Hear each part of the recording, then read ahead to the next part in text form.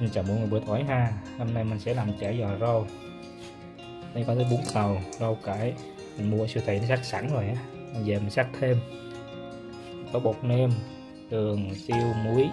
Mình sẽ dùng bánh tráng à, Mỹ tho.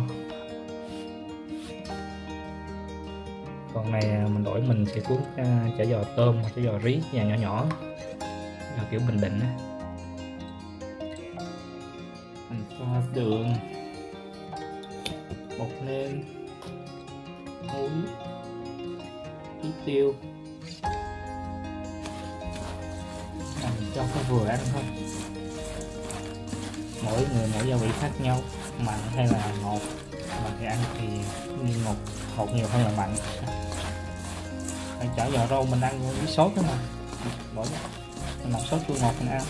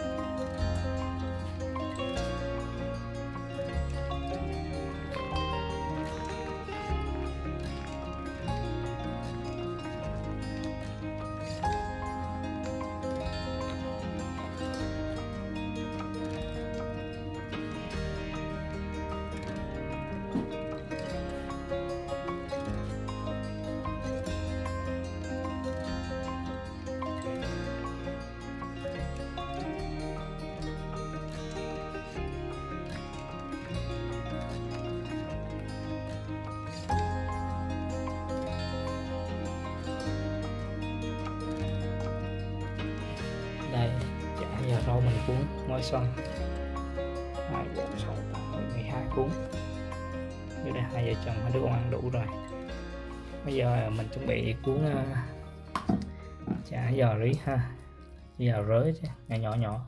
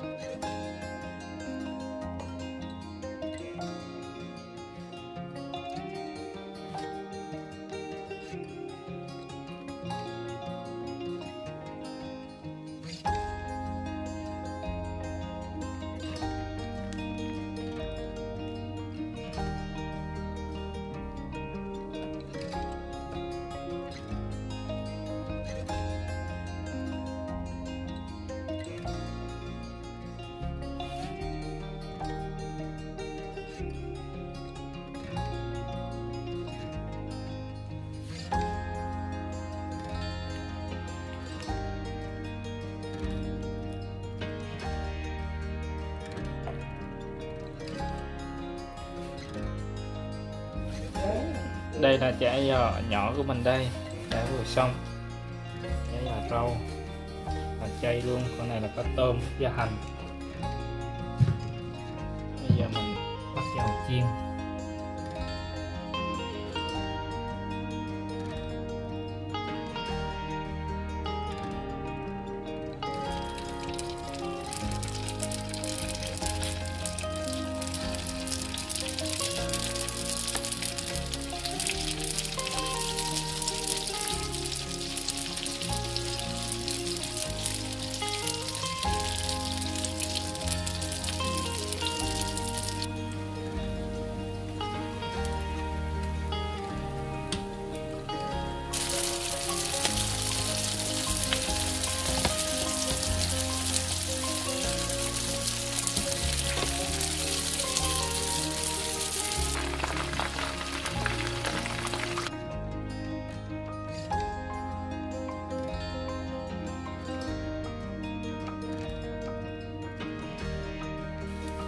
Cho giò mình chiên sơ qua một lần. Rồi mình ăn muốn ăn mình chiên lại lần nữa. Để giò nó mới ngon. Nó có độ giòn của nó hơn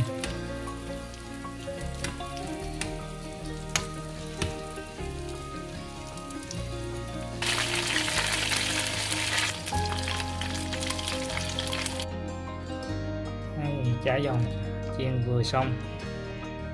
Rất là giòn ha mọi người.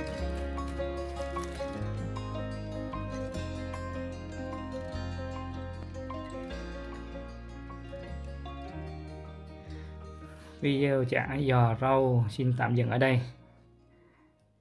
Bye mọi người, hẹn gặp video tiếp theo. Tạm biệt.